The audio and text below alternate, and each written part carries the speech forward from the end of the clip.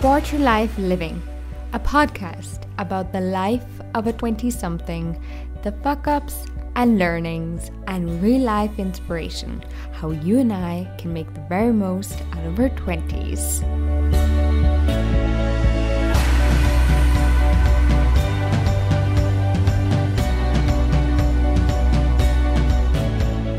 Hello, and welcome to another episode. My name is Olivia. I'm just a regular 20 something who wants to grow on a personal level and, of course, take you along the way. I invite inspiring guests to help us to make the very most out of our 20s, and today I've invited Alisa Eresina. We met at one of her workshops on mastering doubt and fear, and it was an absolute game changer for me. I loved it and instantly knew I wanted to have her on the podcast. Uh, she's an empowerment coach, yoga and meditation teacher, entrepreneur, facilitator, podcaster, and speaker. She's also the founder of FemFlow, which aims to help women to harness the power of their female cycle and to live a vibrant life. And she's the head of strategy and experience at The Female Factor, a leading community for ambitious women, which is where we met. She loves to shine light on important taboo topics in our society and speaks openly about female empowerment, leadership, the power of the female cycle in our everyday life, work, and business. Listen into this episode to hear me talking to Alisa about her journey on battling through depression and anxiety in her teens and early 20s, strategies on how you and I can overcome fear and doubt, why sexuality is actually linked to personal growth, and how you can connect to your female cycle and stop using period products, which was amazing to find out throughout this episode. So I hope you enjoy listening, guys. Um, at the end, we have a very special goodie for you, so definitely hang on until the end. And hop on over to Instagram under at Quarter Life Living Podcast. Share your thoughts on this episode and enjoy listening.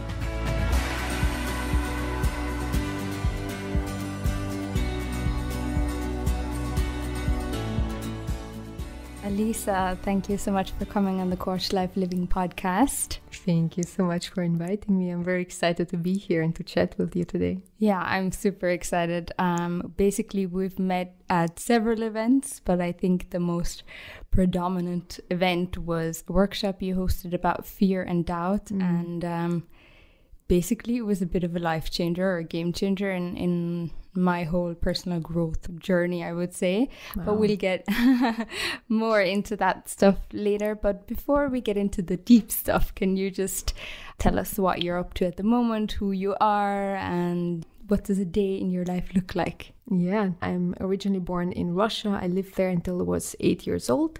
Then I moved to Slovakia with my entire family, went to an American school, then moved to Austria basically until my 20s i was um, faced with lots of different challenges depression struggles we probably going to dive into that more in depth then i followed kind of the idea of how to live a good life and had um, different jobs. So I worked like small student jobs, but also in Peek & Cloppenburg as a salesperson and um, started studying first biology, then applied for an art school, didn't get it.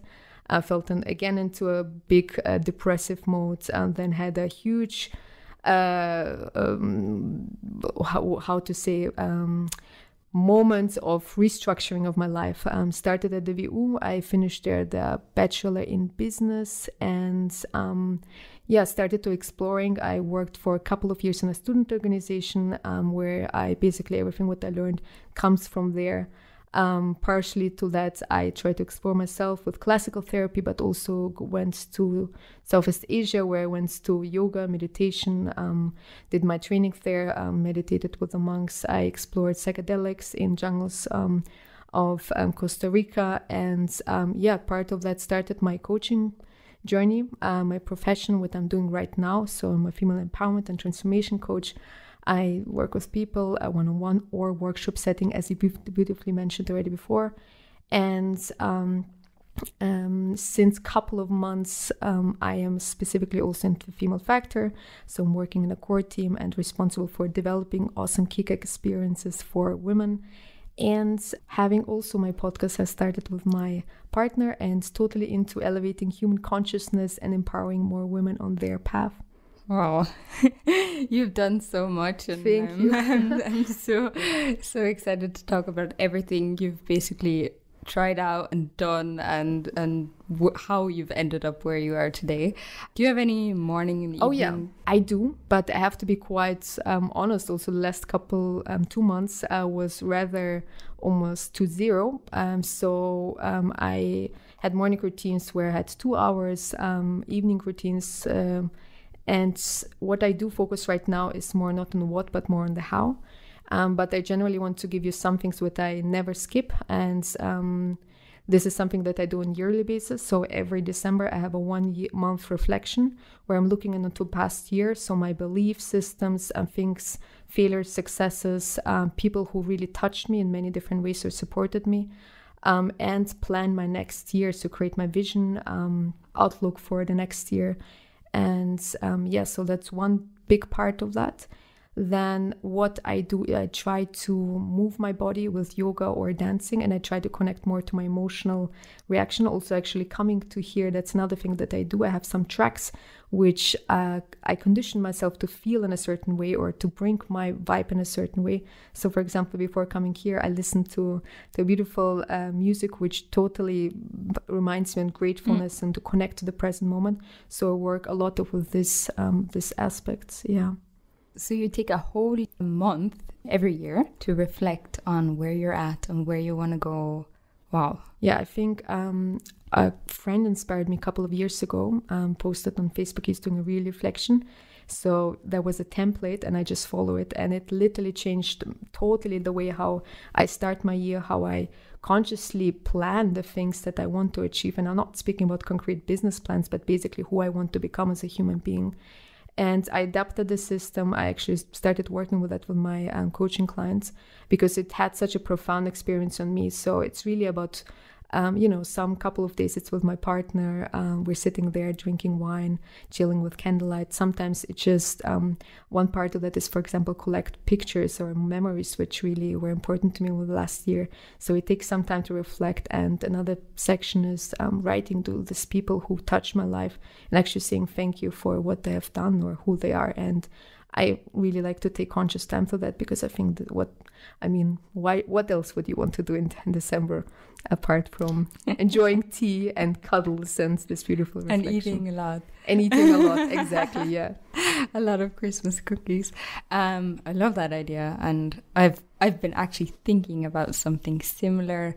Um, we just watched Bill Gates' documentary, and he used to take out like weeks, think weeks as well. Um, which is super interesting just to take a step back and and and reflect. And i think that's yeah so so important. Um let's talk about success because i know you mentioned before we started this podcast that or you even mentioned it in the intro that you actually went quite a normal classical path. Like talking to you now i would never have thought you did the VU even though i went to the VU and i felt like an outsider there, which is a business school. And now you're doing like FemFlow workshops and doing something, I, I think, very different. Um, what was success for you back then and how did it change now? Yeah. So I think quite a topic that every one of us has in our mind during our life, and probably also going to ask this question a couple of times throughout our life. So basically, when I was around um, 17, 16, like approaching my 20s, I was in a very dark place. So I literally felt very suicidal, very in doubt, um, being immigrant myself, not feeling comfortable. And at some points, um, I really uh, took a decision. I remember that quite specifically that I did not want to live that anymore, like this. So, in this desperation, in this constant um, frustration, this constant dark place, uh, constantly sabotaging myself, and I looked around, kind of, I mean, like metaphorically speaking, and tried to figure out, like, I mean, what is a happy, successful life? And the picture that was presented to me, where I felt like, you know, okay, so you get a flat, you have a relationship, um, you need a quite good education or job, and you go and party with your friends on the weekends. So that was kind of my compass of what success or a normal functioning human being in society is coming back, like from where I was in my um, younger years. So I started kind of following the path and not completely like, you know, crazy radically, but I applied for university. I was out on the weekends. I had a, a partner. We moved in in a flat, a course in the ninth district, actually close to the old VU.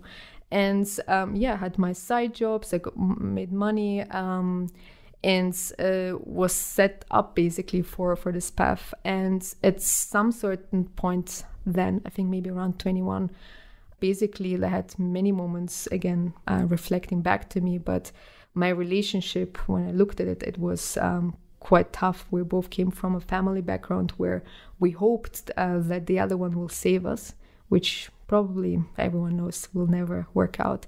And it was um, just based on a lot of fear and doubt and frustration and just, you know, not trust. So we broke up. He went to France. I was there with a flat. I didn't know if we should continue. Basically, I had some debts that I could not pay off because most of my income went to um, alcohol on the weekends.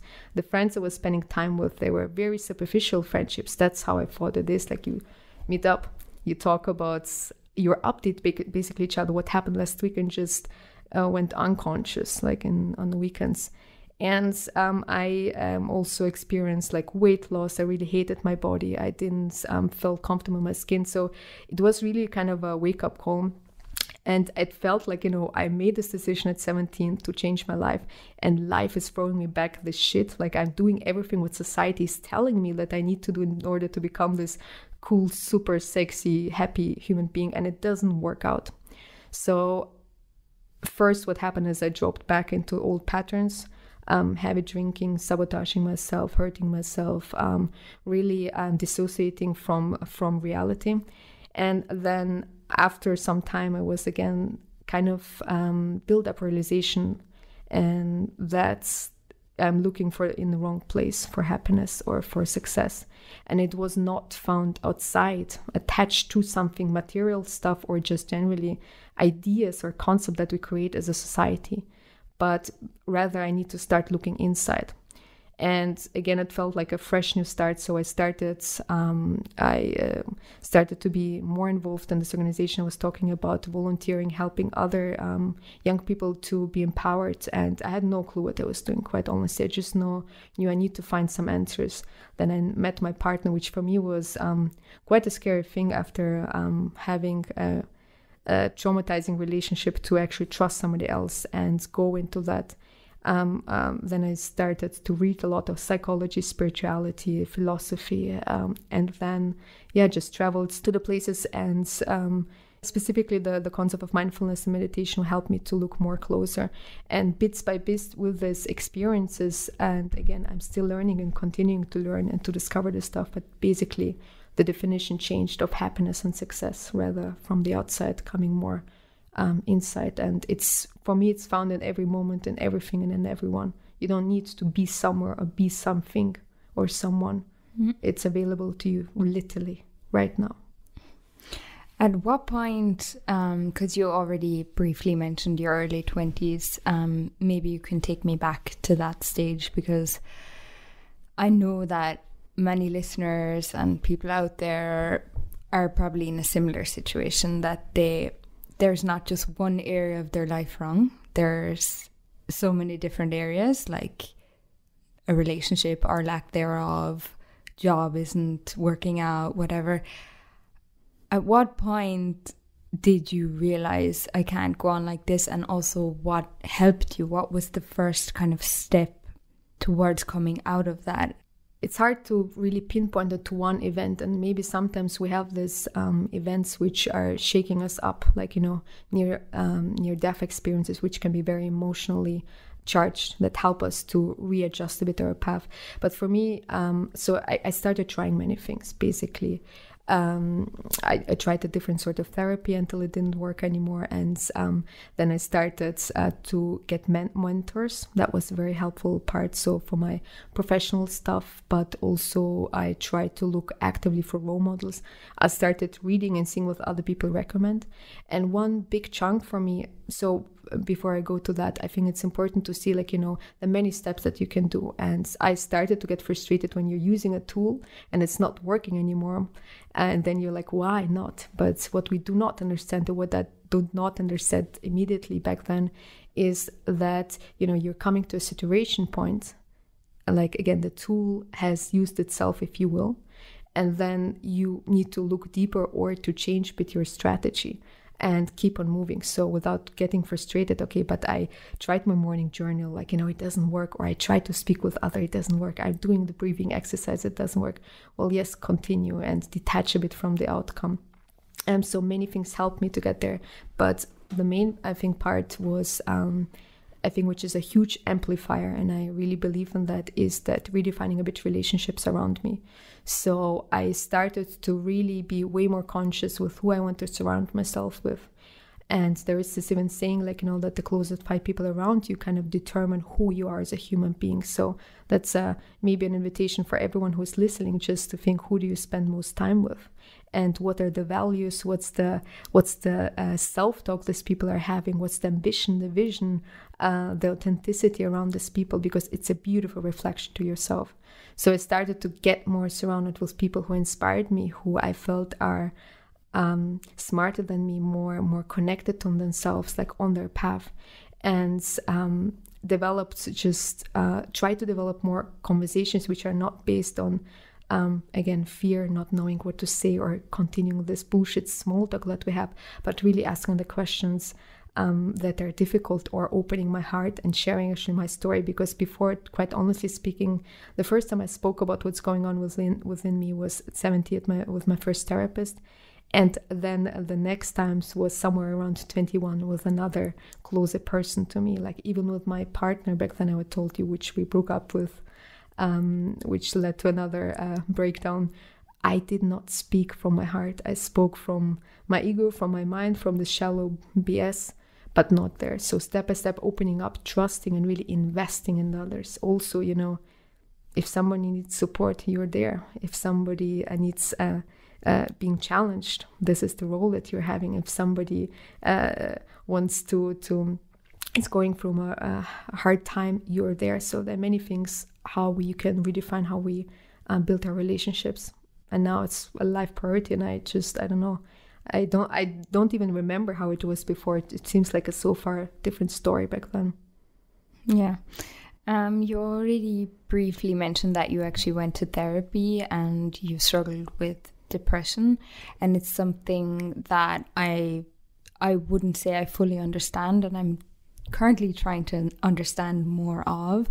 And I think there's, on the one hand, maybe people going through a hard time and a quarter life crisis, but on the other hand, maybe people who are actually past a point and going through such a hard time that they need to get help.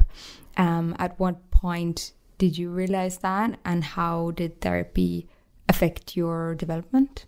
I'm not sure if I'm a good advocate for classical therapy because that's the reason why I went to uh, look for other life mm-hmm. philosophies. Uh, but in, to answer in generally, I mean, like that helped me to open up to a different human being. And I think speaking only from my personal experience, it doesn't mean that it applies to anyone else who's listening or to anyone who is um, in this phase of their lives. But I always felt um, not being really seen somehow. So I felt like you have this list with the therapist, that I was working with, that it felt very mechanically and it felt um, very soul connecting. So I felt always like, again, it might be a total projection from my side that I could not build the trust, but it felt like, you know, this one tools and after another which coming and plus the first one that i had was um, prescribed me quite heavy uh, medication mm-hmm. which totally knocked me out and disconnected me even more from my emotions mm-hmm. so um, I will because I knew that was the only way. I started always to look for a therapist and go there, but then I had this, you know, was not motivated to continue. Then I remember I was standing a couple of times in front of the AKH, uh, wanting to go to this group uh, therapy thing or at least ask and get for help because I searched on the internet, but I never passed the line of going in there. So I really can connect how hard it is to get help or support. For me, what helped a lot was generally, um, and I think we're now living in an age where so many tools are available on the internet out there. You don't need a lot of resources or money just to open self, yourself up to the knowledge uh, which is out there.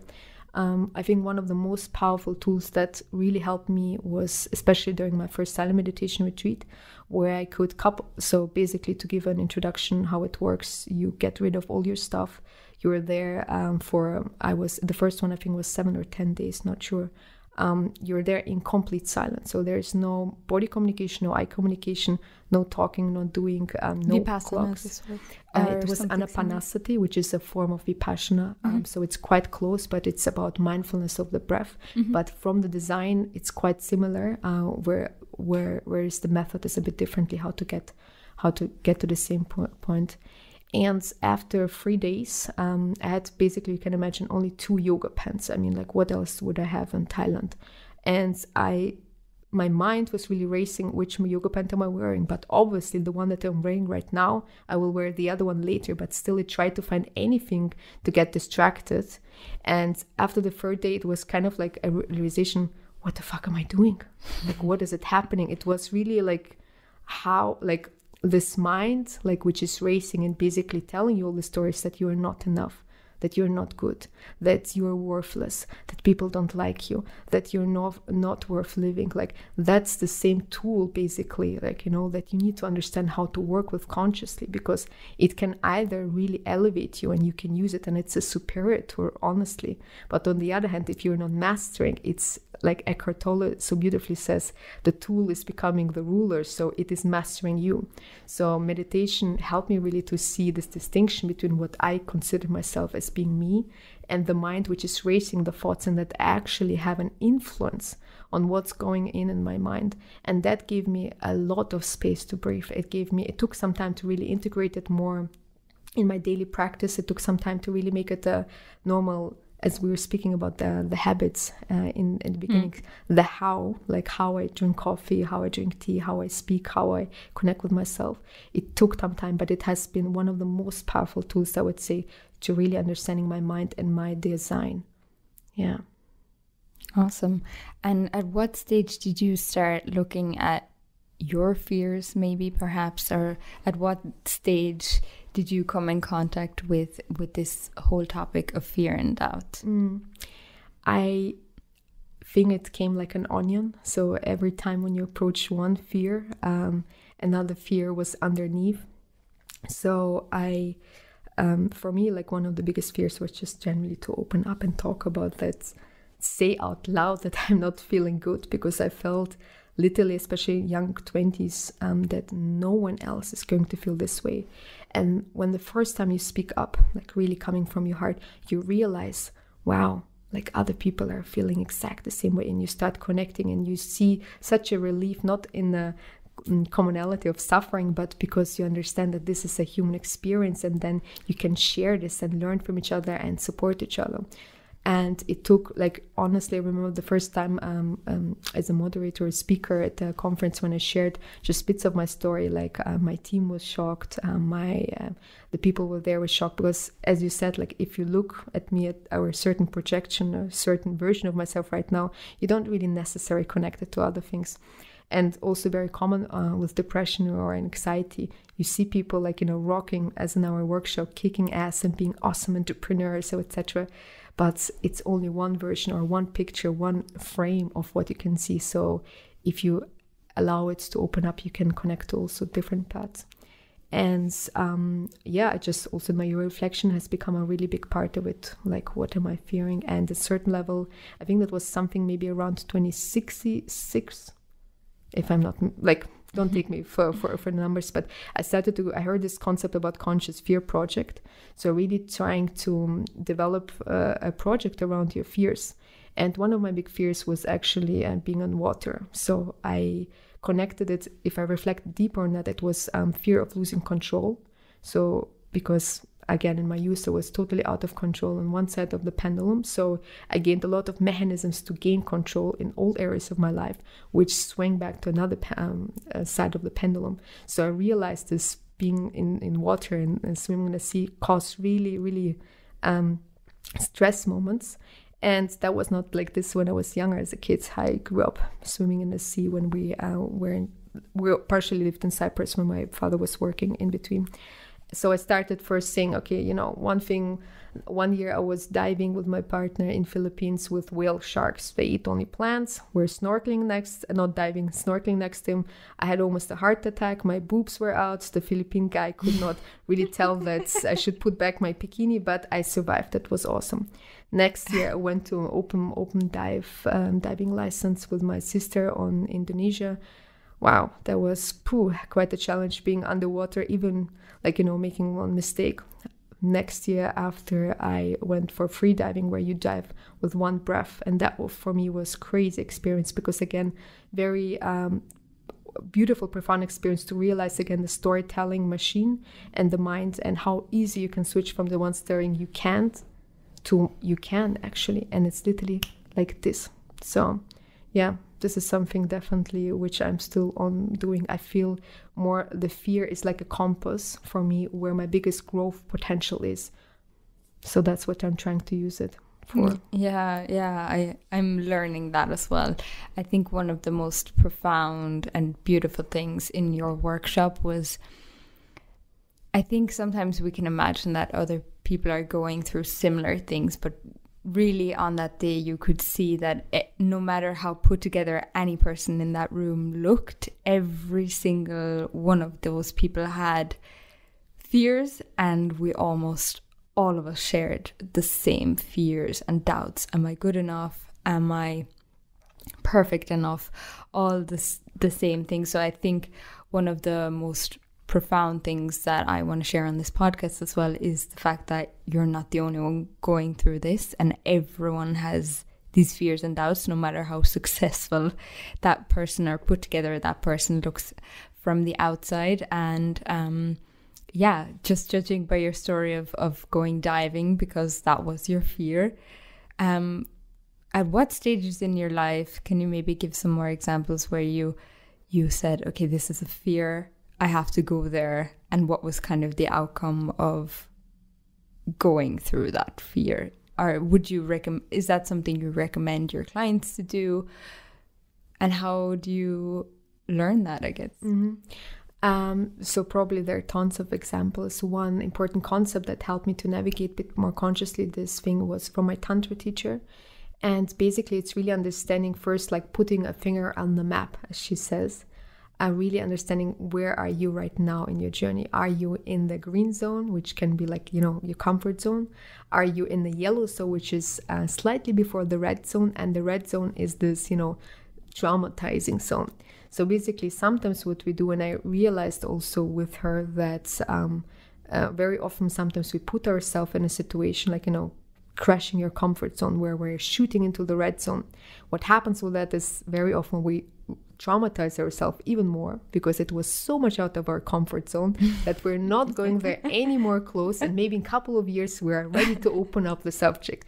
Um, but what's the important thing is because in tantra um, and many other philosophies about expansion is really expanding to all experiences that you can possibly have and also fear or the things that you don't know or not aware of is part of this game. So um, the idea was to check where am I right now? Am I like, you know, if you see the circles surrounding each other, like similar like the Waiha from Simon Sinek's, the inner piece is the green one, then yellow, then red. Where am I? Am I green or am I already on the edge of yellow to red? Am I already totally somewhere out of there? Check where you are right now and then see what in this context right now really helps you and um, to progress not to traumatize you because that's not the point of, of uh, going to your fears but some small steps that you can do in order to to go there.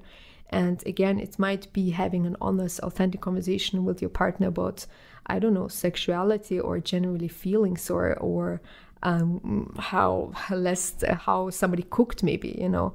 And that was also something like many years ago a challenge to really say like you know even the small things. Can i openly say to a friend like what you cooked was not good because i was afraid to be rejected or maybe to hurt somebody else? All the small things um, can be actually uh, helpful to look at, but also to, to larger parts, uh, deciding on um, a project in your business or working with a client where, again, uh, it's more about. Um, it scares you, but you know it's the right thing. So, are you doing the next step? So, you don't need to figure out everything right now in the moment. But if you feel this courage, this love that we were talking also about in the workshop, if you can take a decision from there, again, not traumatizing you, really helping you to progress, then you definitely flow way more uh, with life. Nice. Um, you briefly just mentioned sexuality, and I know that's um, a topic that you're passionate about and something you teach as well. How did you get into that? Um, how did I get into that? right now, realize that um, whenever we speak about personal growth and we do not speak about sexuality, we're excluding a huge part of that because we are basically sexual beings. Mm-hmm and um, how I got into that was um, for my teachers and mentors. First contact maybe was yoga somehow. So um, somewhere at the back you heard about tantra. I associated it with you know only having sex, nothing spiritual or or in in this direction. Then uh, more and more I learned about conscious sexuality, working with uh, sexual energy. Went to different festivals. Um, East is one organization. Then um, in in Southeast Asia, there are different teachers that uh, can bring you further there. And I started reading about that. I just started getting fascinated, and me and my partner both were kind of interested into this topic and start going together also uh, in this direction. And yeah, so maybe that's like um, I never really reflected that way, like when did it really started. It just sparked my interest, and okay. I feel there's a lot of potential in general yeah. there you just said that when we talk about personal growth, you, you should never ignore sexuality. Yeah. And sexuality is something that I maybe briefly have touched on in this podcast, but basically have probably avoided because it's a very intimate topic. It's actually an area that I want to develop in more now in the future because I notice myself sometimes ignoring that side of myself. Can you explain more about what you mean that we're sexual beings and we shouldn't ignore that and how it affects the rest of our lives? Yeah. So first, first, what you say, like I think um, what I discovered in my twenties and the role that I'm playing right now is that I love these intimate topics because they're, I think, that have a transformative correct, uh, character. So sexuality, the female cycle, psychedelics, anything which can help us to elevate human consciousness. And again, I'm still on my journey, so I still have my moments, like you know, where like out of my comfort zone, and I depends yeah. on who you meet, right? What's the reference point? point, and then the other people who are so open or whatever you think, uh, like how they speak and talk and play and i'm like oh my god i'm totally in my box so it always depends who you meet. Um, but uh, what i mean by that if um, so because i also work very closely with women and specifically in the female cycle um, aspect sexuality is equally connected to the female cycle because mm. if you think of it why we have the female cycle or why we bleed each month is because uh, we are not uh, uh, not pregnant, and there's there's a process going on which is helping us to to cleanse, if you put it in very simple words. Um, so our whole chemical emotional rhythm is about uh, life creation and and um, feeling the sex drive. So very often. Um, because we have conditioned ourselves not to talk about it, it's an uncomfortable topic, but um, I met a lot of women, for instance, who have no relationship to their vagina at all, like literally not seeing that as part of them, either because of some experiences um, or just shame or whatever is there.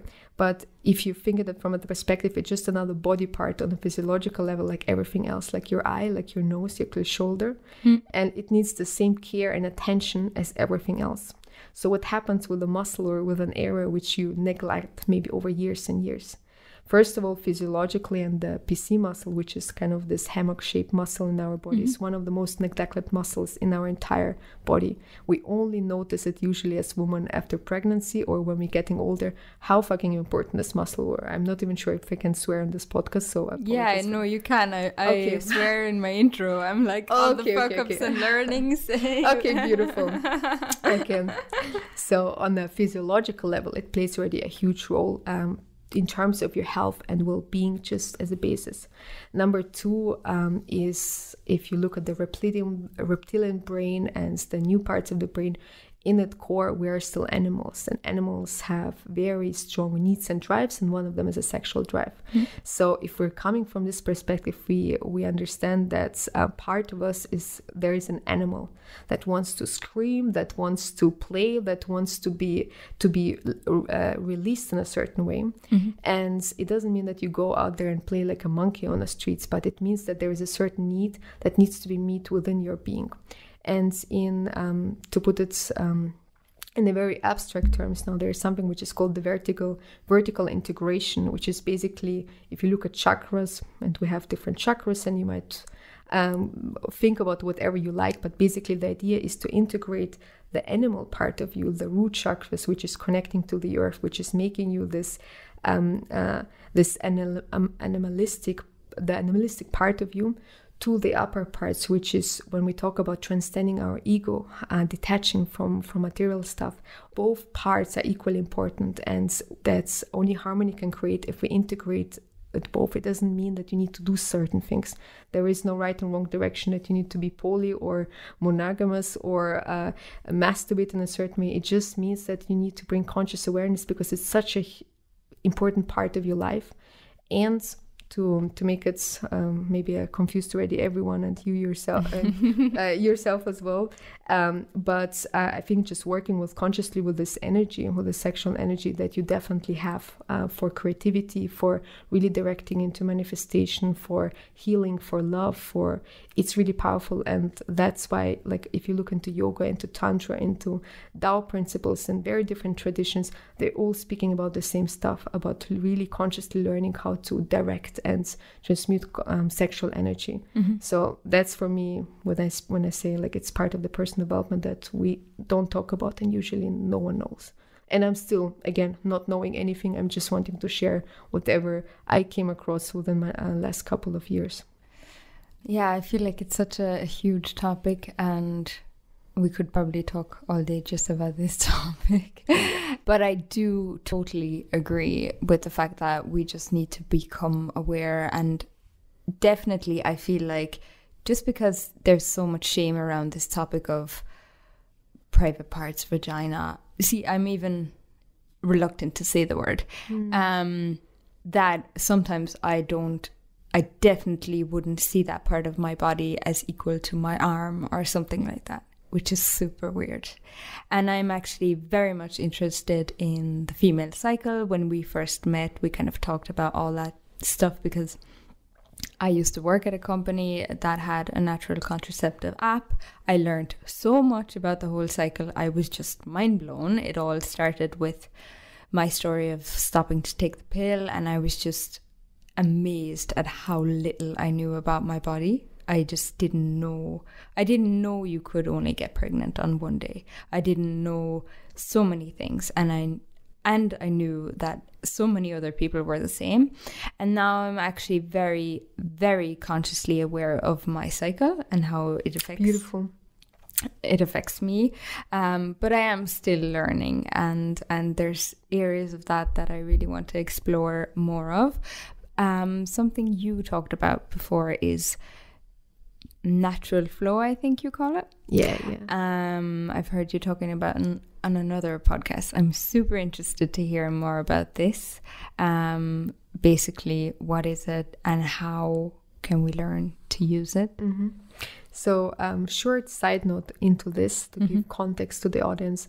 On my um on my journey in southeast asia i met a doula which is basically like a midwife or i call it a spiritual midwife and she introduced me to this practice. And back then, me and it was like a, a huge uh, huge room of um, uh, men and women from across uh, the world and all different ages and backgrounds none of us had ever ever heard about this and i was so stunned and i just felt like you know curiosity you know when you have this feeling like intuitive drive that there is something there but you have no freaking idea why you're doing this what is doing that you just feel it's right so i followed her i was her uh, first Skype students. Um, I mean, it was very short, and I started to practicing it myself.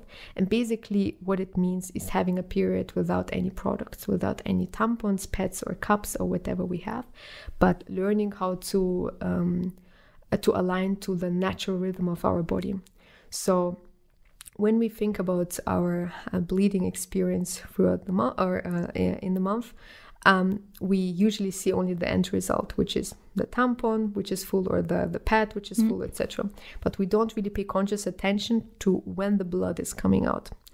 So, what I discovered for myself, and again um, with other women that I talk to who have practiced it also on by themselves, is that there is a rhythm to the bleeding. So it doesn't um, come out like um uh, so it doesn't drip the whole time. It doesn't matter. Yeah. you got the picture everyone. So it comes actually in waves and you can become consciously aware of these waves.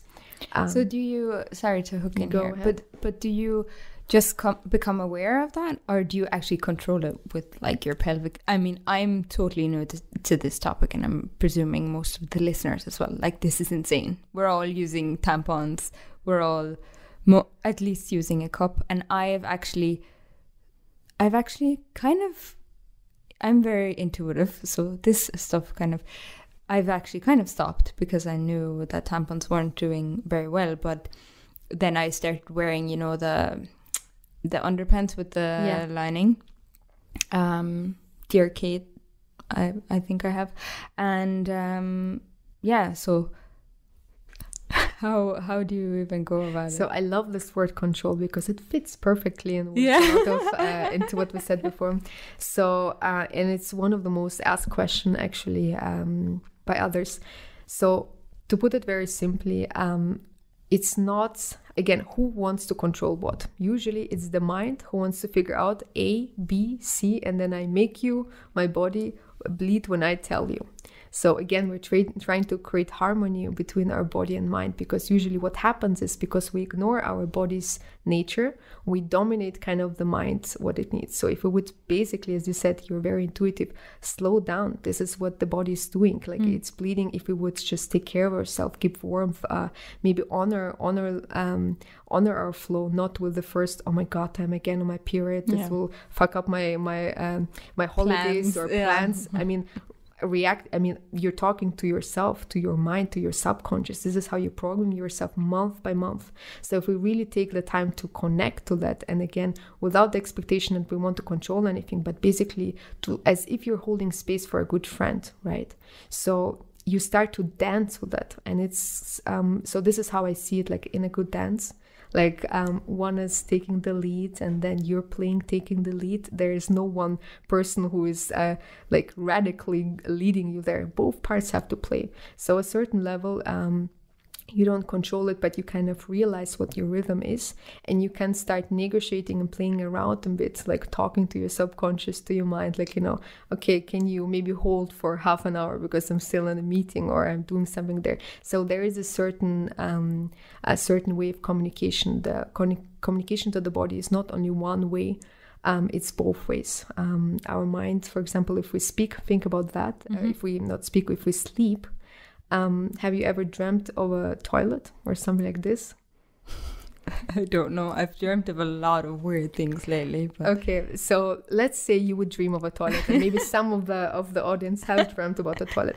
But what is your body or mind telling you that? It's telling you go to the toilet. Exactly. So you're still okay, not yeah, in control and conscious, but it finds a way to communicate to you. And this can be in pictures, it can be in uh, physically, it can be emotionally, it can be a certain feeling which you have. But basically, you're learning a new language of the body and starting to come in a dual communication with the body mm. and support your body and not trying to again mind trying to dominate the body, but you're just equal both parts. Uh, doing um, doing their job and playing around but I still think it's very much you wouldn't know how to and especially the question would probably come up yeah but what if you're me- you're in a meeting like you already Yeah, nope. mentioned and then all of a sudden i mean you just have a pants full of blood i Yeah. mean yeah So one thing that I tell women, so basically, there you do need some time to explore your rhythm. So Yeah. maybe your first day is not as the last uh, last day. And one big trap that we're generally falling as women, it comes at the female cycle, but all other person development things that I'm, uh, I'm doing as well is about, as I call it, the perfection trap. So if we're starting something, we believe only free bleeding, intuitive bleeding, conscious release, or natural flow, as I call it, is only correct if I manage from the first moment of the blood until the last one. Who is telling you that? I mean, like there are no rules. Hmm. Whatever serves you best. So if you're in a meeting or maybe traveling somewhere, nobody's forcing you to do anything. It's just an invitation to create a more conscious um, way with your body. Right now, for me, like I'm honestly taking time off because I know if I invest in this couple of days in myself, my the rest of my months is totally different. There's my energy, my my physiological uh, body, and it's really a time of release, not only physical release but emotional release, where you can really reflect what is there from the last month that I can let go of, which is not serving me anymore. Whatever works. I know women who are doing it only at night, others who are doing it only on the first day, others only on the last days. Um, others have no problems traveling to uh, on a long term flight to Indonesia. Others have uh, difficulties with other situations, and it's all fine. And there is no end goal to reach. The only thing is about focus on the how, not on the what. if you want to learn more about how how to do that where can you go So one thing that you can do is to go to my website, either of my personal one, alisaeresina.com or femflow.com slash naturalflow. So I was giving different workshops and still do in that form, but right now I have an online program, actually the first one um, that I'm aware of, which is taking you step by step of how to create this connection and uh, learn this method. Um, because I couldn't find it anywhere, and I just wanted to to offer this as opportunity for others. Amazing. Um, I want to loop it back to the whole fear topic because I guess we got a bit off track. But um, So many s- uh, cool topics. I know. Oh my god. um, last topic before we get into our, our finishing questions is the topic of being present. Because one of the major things that I look up to you for is I feel like you're a very, very present person. And when we were doing the workshop and afterwards, I came up to you and I said, Alisa, you're you were so 100% there, and you were nowhere else. And it's something that I I struggle with very much now, especially with phones, social media, all of the distractions. I find it quite hard to be in the moment and just be okay with where I'm at. I'm also a very future oriented person. I'm always worrying about what's life bringing next and planning and yeah, I'm I'm very obsessed about, future things and I'm trying to act, actively work against that right now. So my my question is what are your tips on being more present and being right here and yeah. um beautiful topic and also as a side note i'm also more I, I like right now the last couple of months if ever like i'm also very future oriented like you know plans and this and etc Mm. and so it's always a continuous practice to bring yourself to the present moment so one tip is to give up this idea which i had quite honestly speaking that if you learn some something or you come to this um, um, quotation marks or how you ever call them to enlightening moments, then you are always present. You're always here.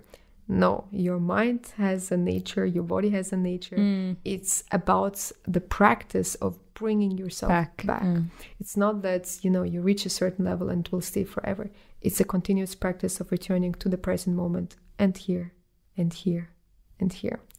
And as the word already says, it comes with practice. So, tip number two is to develop a regular practice, which will help you to develop this this skill. Because again, it's um, first of all, I think if you cannot master the present moment, you cannot master business or life. Honestly, like this is the number one top skill. I think that's anyone, any leader, any person who want to have depth relationship or connection to itself needs to develop and this can be trained this is not something which is out there um, meditation can be a beautiful tool meditation practice get an app uh, uh, uh, get uh, basically just need to sit down for five minutes in a row make a I remember when I started yoga, which is another tool that you can can help you to connect to the present moment because you're really immersed into doing the asanas and the practice. I did a 50 days yoga challenge just to get myself into the habit of doing everyday yoga and not doing it maybe once a week.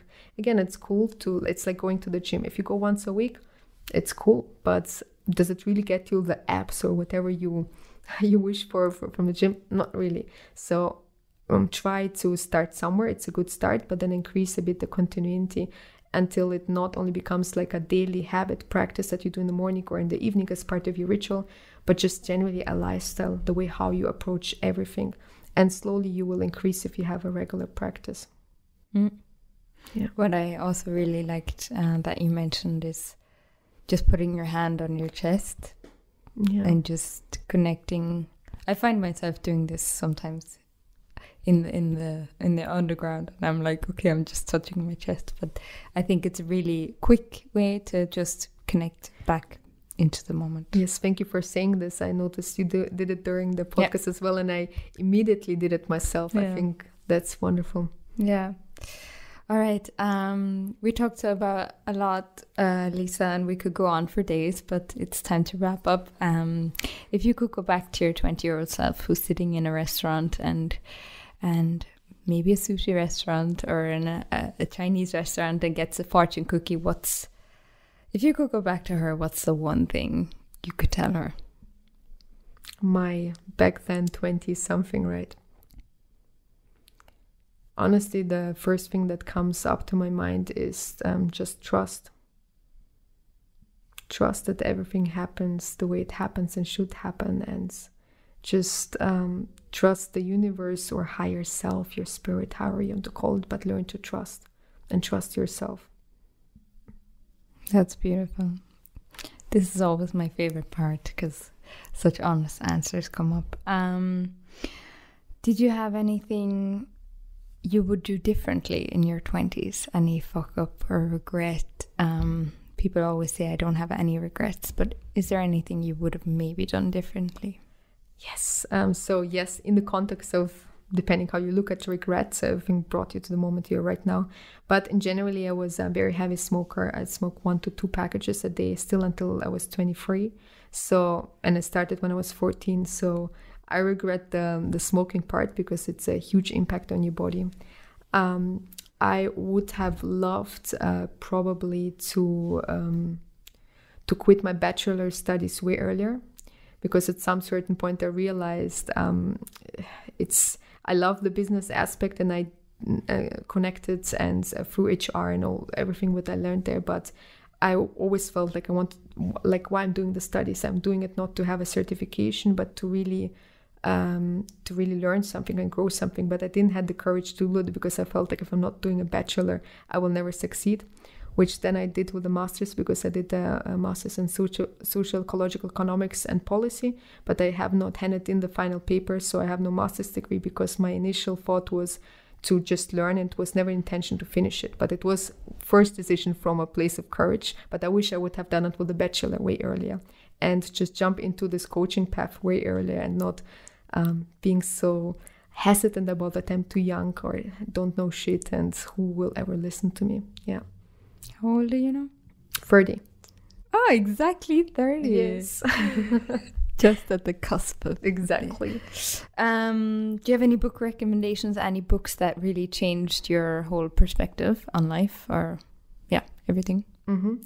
So, couple of things. If you go to my Instagram account, I put like I usually put a yearly recommendations, book recommendations. Mm-hmm. But um, the Power of Now from Eckhart Tolle, I think this is something you can read. Oh, Ali just mentioned that in yeah. my last interview, and I'm.